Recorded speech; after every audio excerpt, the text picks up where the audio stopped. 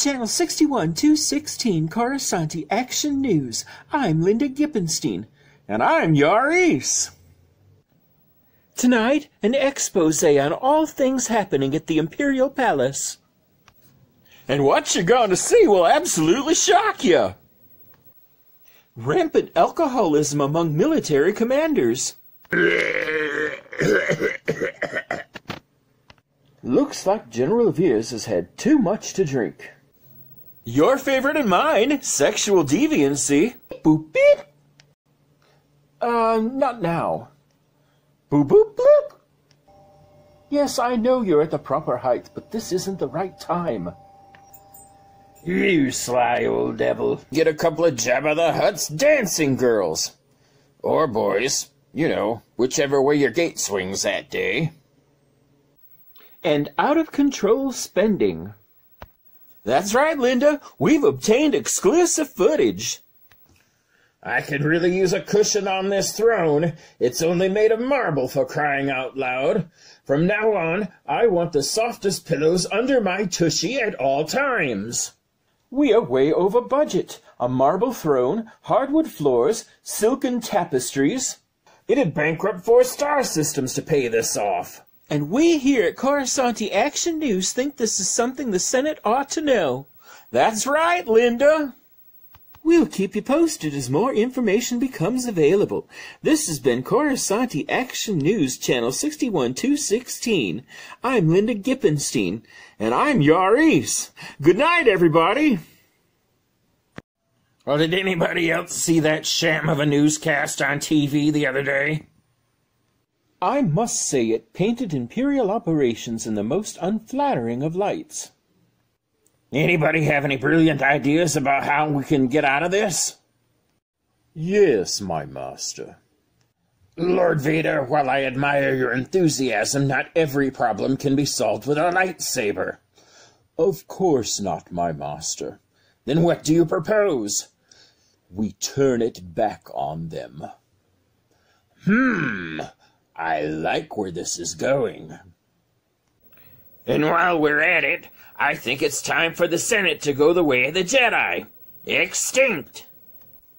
This is Coruscanti Breaking News with Linda Gippenstein. And I'm Yaris.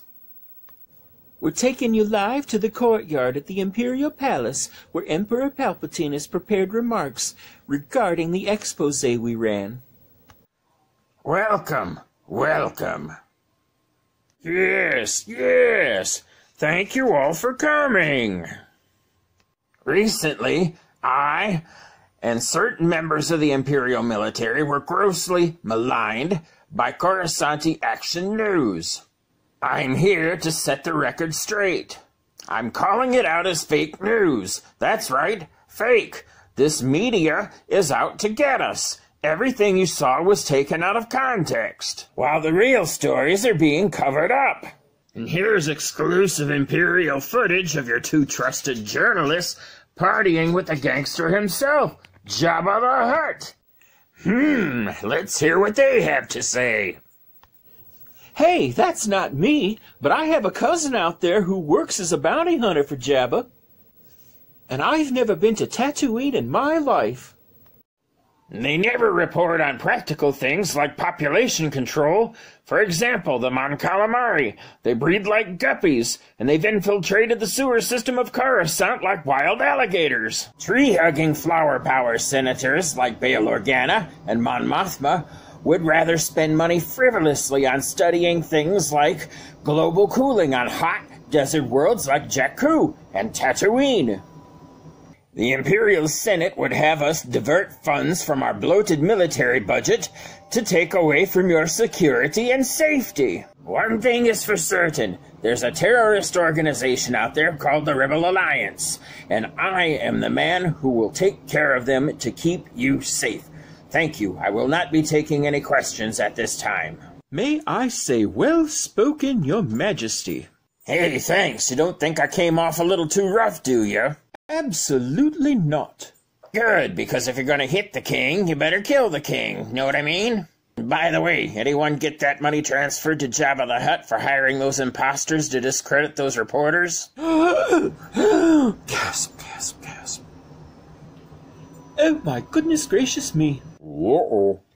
Damn, is this microphone still on? Well, I dare say the king slit his own throat today. And on that point, we couldn't agree with you more there, Governor Tarkin. This has been Coruscant Breaking News. I'm Yaris. And I'm Linda Gippenstein. Good night, everybody.